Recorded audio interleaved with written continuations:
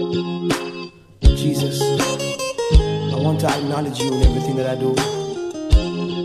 Lord, so I humble myself, Lord, that you be glorified in my life. Alone, but there's so many people in this place.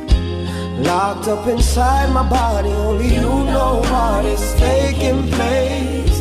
I blame myself for always feeling this way. I allowed myself to slowly drift so far.